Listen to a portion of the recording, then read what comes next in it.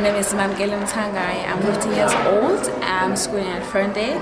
And um, my business idea, I'm actually doing great. And um, yeah, I've started doing it for from last year. Yeah, and I've done my braids for myself.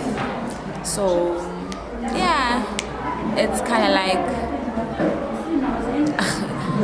I just like doing braids because my mom used to do it and she has passed on. So this thing, I'm just doing it for her and yeah. And um, I would like to win this jumpstart thing.